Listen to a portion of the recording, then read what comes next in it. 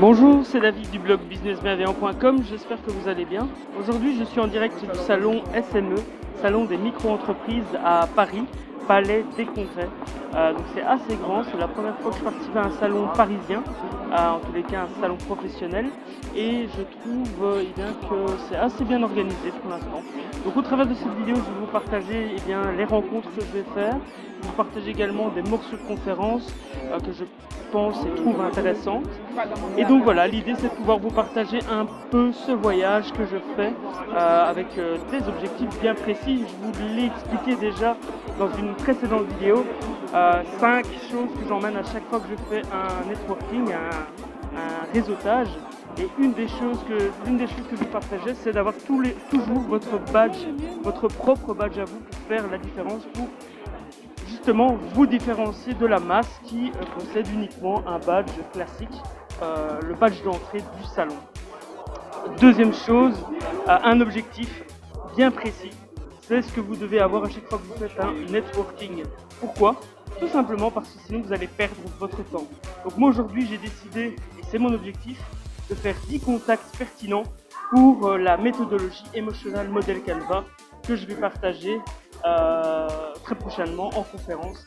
mon objectif c'est d'avoir 10 contacts concrets pour justement promouvoir cette méthodologie et évidemment derrière proposer des ateliers payants puisque eh bien pour tout business euh, il faut générer un chiffre d'affaires et des bénéfices. Sinon, à un moment donné ou l'autre, le business. Donc, c'est ce que j'avais envie de partager avec vous. On se retrouve dans quelques secondes avec divers, euh, divers partages que je vais vous faire en direct.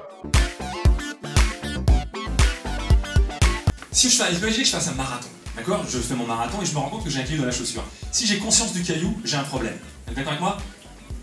Non, personne d'accord. C'est pas grave, je continue, je suis inarrêtable j'ai conscience de mon caillou, mais si je me dis ok c'est bon mon caillou est là mais je peux continuer, eh bien c'est un problème qui n'est pas une douleur. Et mon prospect il peut être dans cette situation de se dire ok j'ai un problème, mais bon ça va, tu sais ça fait 10 ans que je fais comme ça, je peux continuer, tout va bien. Moi je pense que mon bon, prospect c'est celui qui dit ok j'ai un caillou qui fait tellement mal qu'il faut absolument que je trouve une solution. En disant, euh, voilà, vous n'avez jamais fait. De toute façon, entrepreneuriat, c'est ça. C'est une succession de choses qu'on n'a jamais fait et qu'on apprend sur le tas parce qu'il n'y a que des imprévus, et euh, c'est pour ça qu'on apprend tout le temps et qu'au final, oui, on vit peut-être plus vite.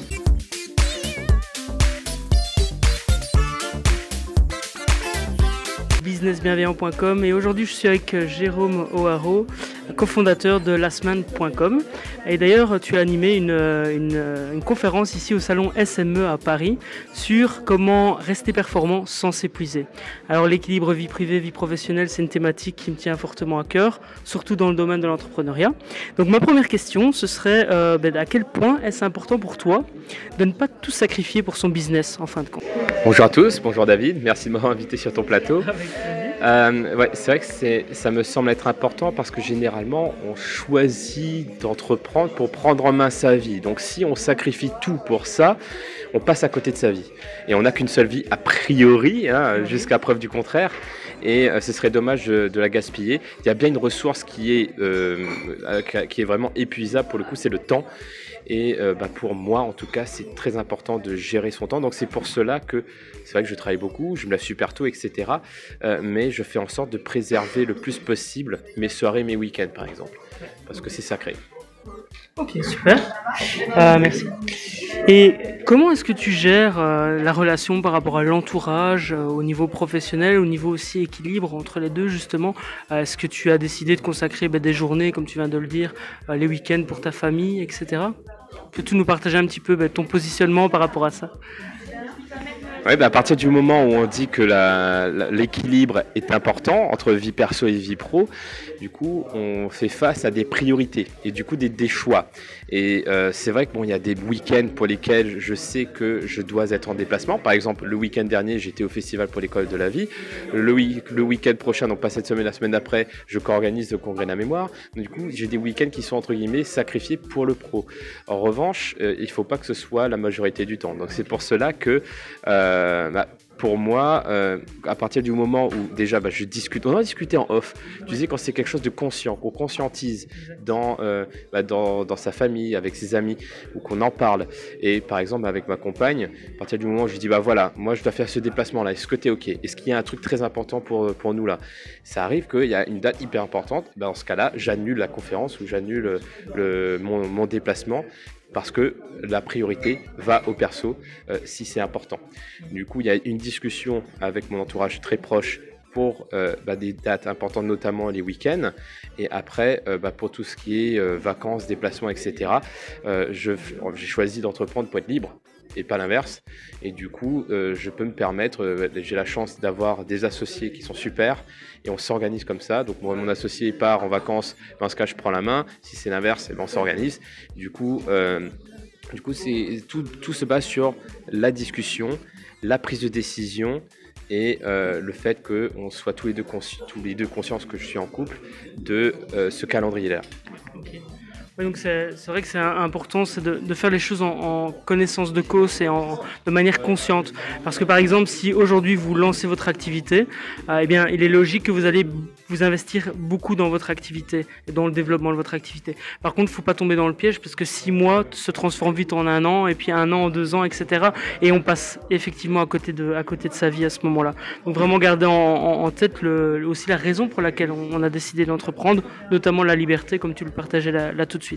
Euh, la question suivante, euh, je voulais un peu savoir quelle est l'importance que tu donnes à la remise en question Donc ta remise en question en tant que chef d'entreprise, euh, mais aussi donc par rapport à l'introspection et aussi la prise de recul. Est-ce que ça t'arrive de prendre du recul et de dire ok, là j'ai besoin de vraiment stopper tout pour mieux agir après? Alors j'ai plusieurs types de remise en question. Toutes les semaines, je fais un bilan de la semaine qui s'est passée. Euh, d'un point de vue pro, d'un point de vue perso, qu'est-ce qui a fonctionné, qu'est-ce qui a moins bien fonctionné, qu'est-ce que je peux changer pour que ma prochaine semaine se passe mieux. Donc, bah, bien entendu, ce sont pour des petits trucs, donc euh, les petits trucs du quotidien. Après, euh, j'ai des remises en question un peu plus poussées tous les mois tous les mois. Euh, euh, je vais aller un peu plus en profondeur, donc traiter moins de sujets, mais aller choisir des sujets plus importants, plus lourds, pour lesquels bah, je vais me remettre en question, me questionner et aussi questionner mon entourage, par exemple, parce que je, prends du feedback aussi. Et après, bah, pour les trucs de fond, vraiment, là, c'est tous les ans. Et par exemple, bah, j'ai adopté des, euh, des habitudes. Je suis quelqu'un qui, aime bien créer des habitudes et des routines. Tous les jours, je prends une seconde de vidéo que je compile à la fin de l'année pour regarder le clip à la fin. Du coup, j'ai le résumé de l'année à la fin. Et j'en profite également bah, pour réfléchir où je me positionne, où j'en suis, euh, qu'est-ce que j'ai je dois modifier pour l'année d'après. Et après, je prends pas de résolution, je prends des décisions que je mets dans, euh, que je transforme en action dans mon calendrier. Donc plusieurs types de, de, de remise en question en fonction de, de la période qui s'est déroulée par rapport à la, la, remise en question précédente. Ok, ouais. super. Euh, alors là, c'est une question un, un, petit peu, c'est pas piège, mais voilà, je me demande par rapport, je suis curieux de la réponse en fait. Est-ce que, est-ce qu'il t'est déjà arrivé de, de regretter d'avoir pris des vacances? Non. Non? Non, j'ai pris des longues vacances. Euh, quand je prends des longues vacances, je fais en sorte de m'organiser pour ne pas être totalement indisponible. Quand je prends des vacances courtes, par contre, je, consciemment, je vais me rendre indisponible. Donc, à, partir du moment où je suis préparé, je me prépare toujours. Je suis pas quelqu'un qui improvise comme ça, qui part sur un coup de tête. Du coup, je m'organise, j'ai un calendrier à l'année et je sais à l'avance où je vais, etc. Après, si je pars sur quelques jours, bon, bah là, c'est pas dramatique. Mais jusqu'à maintenant, j'ai jamais regretté parce que euh, ça fait partie du package de la liberté dont on parlait tout à l'heure. Et est-ce que tu as vu une, différence, euh, comment dire, justement à ton retour? Est-ce que prendre, parce qu'en fin de compte, prendre des vacances, c'est aussi prendre du recul, c'est une manière de prendre du recul. Est-ce que tu as vu des différences et des impacts positifs ou négatifs sur ton activité? Bah Déjà, ça me ressource, parce que souvent, quand quand je, je, sais que je vais partir en vacances, généralement, je suis en mode sprint et je me dis, il faut que je termine ça avant les vacances. Ouais, bah, ouais. Du coup, bah, on s'épuise un peu plus. Donc, euh, quand je reviens des vacances, généralement, je me sens ressourcé, j'ai plus d'énergie, etc. Donc, ça fait du bien. Après, en termes de prise de recul, oui, mais plus, un, on va dire, inconsciemment ou indirectement, parce que je prends pas le temps des vacances pour faire de l'introspection. Je prends le temps de, de vivre, de pas réfléchir, en fait. Parce que je passe, mon, mon quotidien, c'est la réflexion, de la prise de décision et d'action. Les vacances, c'est voilà, donc je prends pas le temps de, des vacances pour de la prise de recul. Ok, super. C'est naturel. Génial. La dernière question, c'est être à l'écoute. Pour être à l'écoute des autres, il faut pouvoir d'abord céder soi-même, accepter de céder soi-même. quels sont les conseils que tu donnerais, et ce sont les, dernières minutes, par rapport à, ça justement, au fait de d'abord t'aider toi avant de pouvoir aider les autres et d'éviter de tomber dans un piège où en fait tu tu, tu, penses tellement pas à toi que euh, au final tu sais ni t'aider toi ni aider les autres. Bah, si, euh, si on se met soi-même dans une situation compliquée, on n'aura pas les ressources, temps, énergie, etc. pour aider les autres. Du coup, c'est vrai que l'entrepreneur est là pour apporter une solution, donc aider les autres, que ce soit à travers un produit ou un service. Mais si lui-même a des problèmes, il ne va pas pouvoir résoudre les problèmes des autres. C'est une question de temps, d'énergie. Euh, et, pour moi, bah oui, c'est hyper important. C'est pour ça qu'en termes de priorité, par exemple, bah, mes soirées sont dédiées à du perso, à mon sport, à mon kung-fu, à mon, euh, euh, mes week-ends, c'est pour faire le ménage, etc. Des fois, le perso, c'est pas uniquement se faire plaisir. Hein. Des fois, c'est aussi prendre du temps bah, pour régler ses trucs perso, le ménage, le bricolage, planifier des trucs aussi. Donc tout ça, c'est hyper important et, être attentif à, à cet équilibre-là, oui. Eh ben merci Jérôme. Donc on peut te retrouver sur, euh, sur lasman.com. Voilà, et pourquoi-entreprendre.fr. Pourquoi entre oula, pourquoi-entreprendre.fr. Merci Jérôme. Merci, merci David, merci Avec plaisir. À bientôt. bientôt. Important de créer l'équilibre entre sa vie privée et sa vie professionnelle, évidemment. Euh, donc là, on en reparlera lors de l'atelier Emotional Model Canva. Si vous êtes intéressé, vous trouverez les, les informations en description de la vidéo. Ou sur emotionalmodelcanva.com. L'adresse va s'afficher quelque part ici, voilà. Il est important de saisir les opportunités. Parce que par exemple, j'ai eu l'opportunité de, de rencontrer diverses personnes. J'ai eu l'opportunité de créer de potentiel business à l'avenir. Mais avant tout, j'ai eu l'opportunité de rencontrer de belles personnes. Euh, vous allez le voir dans la prochaine vidéo. Je rencontre euh, Lingen, Lingen Isia, de solopreneur.fr et vous allez voir, c'est encore une belle personne, encore une belle rencontre euh, que j'ai le plaisir de partager avec vous. Alors comme vous le voyez, le salon est assez bondé, c'est rempli, mais vous imaginez même pas. Les salles de conférence sont à chaque fois pleines, et ils doivent refuser des gens euh, tellement il y a tellement il y a de monde. Là où je veux en venir avec les conférences, c'est que heureusement pour vous, même si vous n'avez pas su venir, eh bien les conférences sont seront disponibles dans quelques semaines et la majorité des conférences seront donc retransmises sur Internet. Profitez-en, allez sur salonsme.com et vous aurez la possibilité eh bien, de revoir la majorité des conférences de ce salon.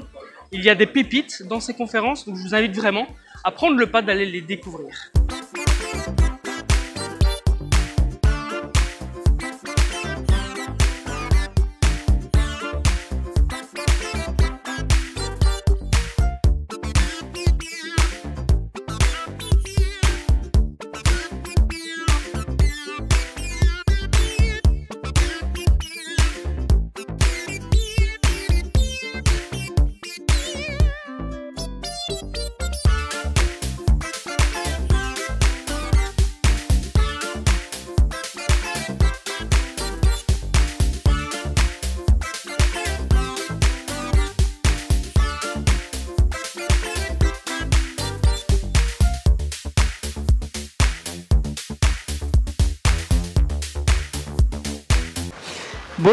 À tous, c'est David du blog businessbienveillant.com. Je suis heureux d'être avec Lingen aujourd'hui, euh, donc euh, de solopreneur.fr et auteur du guide du blogueur aux éditions Erol. Bonjour euh, Lingen. Salut David et je suis content d'être là. Merci de m'accueillir à Paris. non, merci à toi de m'accueillir à Paris. Merci aux Parisiens de, m'avoir accueilli toute cette, tout ce début de semaine. Euh, on va parler de blogging aujourd'hui et de, ben, à quoi peut servir un blog en termes professionnels ou peut-être même en termes de partage de passion. Alors je, te laisse un petit peu nous expliquer à quoi en fin de compte ça peut servir un blog. Euh, alors tout d'abord, on me pose souvent la question, c'est quoi un blog? Un blog, c'est rien d'autre qu'un site web où on va mettre du contenu. Donc on va sur la page d'accueil, typiquement, on va voir les articles les plus récents euh, d'abord. Et euh, l'intérêt du blog, c'est vraiment de pouvoir, technologiquement, on peut passer une heure à écrire un article, et toucher des millions de personnes. Alors vous attendez pas à toucher des millions de personnes à votre premier article, mais le fait que ce soit techniquement possible déjà, c'est que on vit à, une ère digitale qui nous donne des opportunités énormes. Euh, alors pour celui qui a une passion, ce qui est intéressant, c'est que si jamais il veut en faire un business, euh, il peut déjà tester son produit. Ok, il peut euh, partager du contenu, par exemple sur du foot, du tennis ou du basket, euh, de, de l'art, avoir une communauté autour de sa passion et puis avec cette communauté commencer à vendre des produits. Donc ça peut être du e-book à la formation ou une session de coaching et tout ça, euh, allez théoriquement il y a un beau papillon. Théoriquement avec, euh, allez ça coûte 50 euros par an si on veut commencer avec la base de la base. Et pour celui qui a une entreprise, aujourd'hui, le blog, ça va lui permettre de toucher une audience. Et c'est ce qu'on appelle le inbound marketing. C'est-à-dire que euh, j'ai travaillé pour un client, par exemple, qui crée beaucoup de contenu sur son blog. Et en fait, les gens faisaient des recherches sur Google, tombaient sur son blog et accrochaient à son contenu et après bah, devenaient clients tout simplement. Au lieu d'aller à la recherche des clients et de faire que de la prospection, c'est les clients qui viennent à nous. Donc en fait, le blog, si je résume, c'est aussi un moyen de se faire connaître euh, à une certaine échelle, en sachant que cette échelle, effectivement, peut aller jusqu'à des millions de personnes. Euh, quand on démarre, ce n'est pas le cas, on est d'accord, je pense sur ce point-là. Mais par contre, euh, stratégiquement, ça peut être intéressant du coup au niveau visibilité. quels seraient ou quels sont tes conseils pour bien commencer un blog et euh, à augmenter sa visibilité.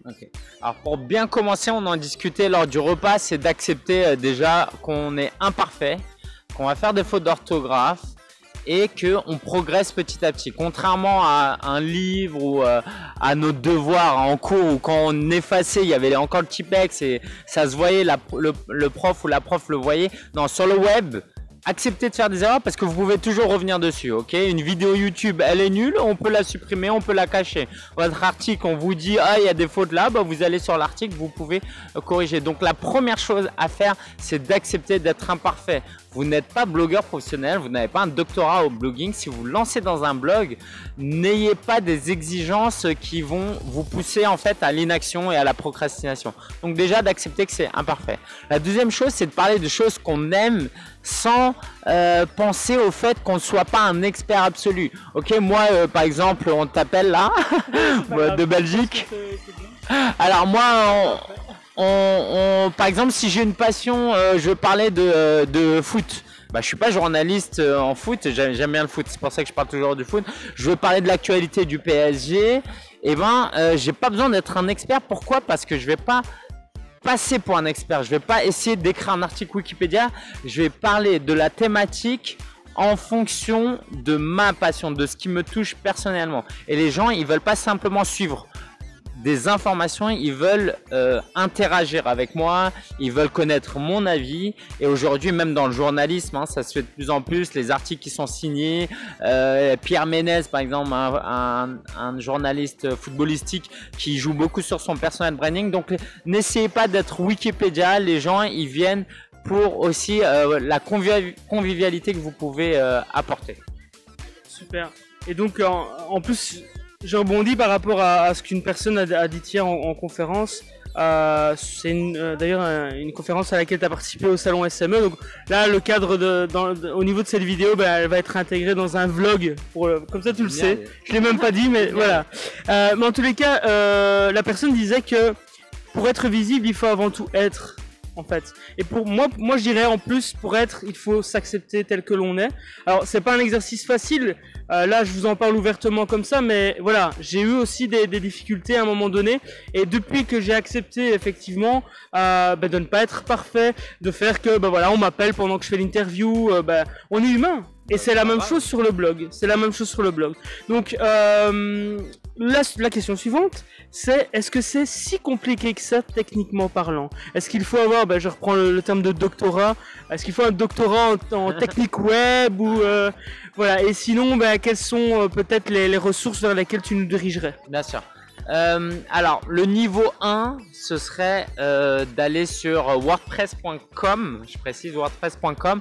On peut créer un blog littéralement en 5 minutes. C'est gratuit. Vous aurez une adresse du type je suis un fan de foot.wordpress.com. Ok.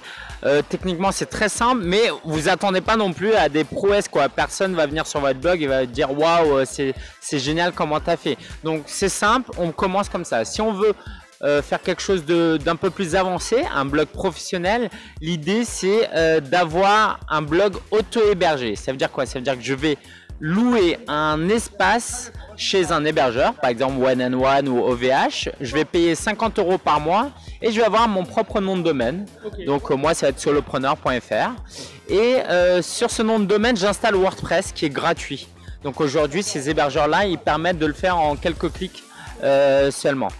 Et euh, une fois qu'on a ça, et eh ben on a un, blog tout nu. Il faudra ajouter un thème WordPress. Donc ça veut dire qu'il y a des passionnés, des web graphistes, euh, des développeurs qui ont créé des modèles.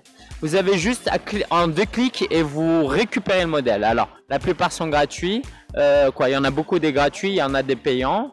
Et puis voilà, vous êtes parti. Euh, donc euh, au niveau ressources, j'ai un tutoriel. Hein, googlez tutoriel WordPress solopreneur, vous me trouverez. Sinon, il y a le guide du blogueur évidemment.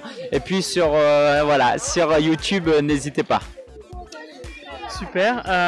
dernière question. Après avoir lancé le blog, concrètement, quelles sont les premières étapes pour commencer à se faire connaître? À créer sa, le début de communauté qui va initier en fait euh, le reste. Ok.